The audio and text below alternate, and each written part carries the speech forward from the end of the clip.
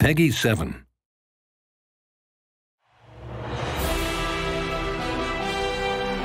もうすぐ試合が始まるね。準備はいいかい？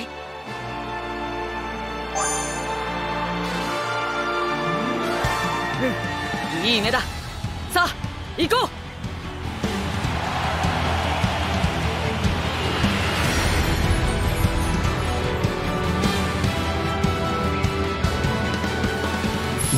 な、なんだって。フランス国際ジュニアユース大会が中止。キャプテン！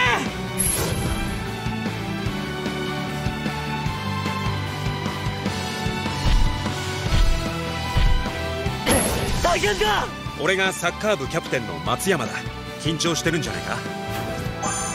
いきなりだけどちょっと君の実力を見てみたくてね純が抜かれた。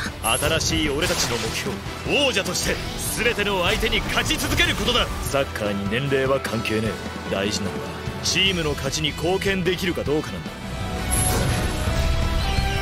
結構やるみたいだな。覚悟しておくたい。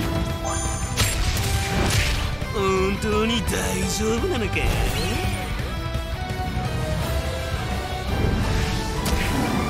俺は決して負けない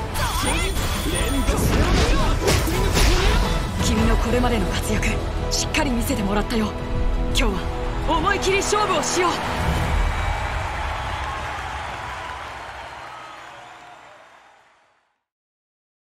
For the players.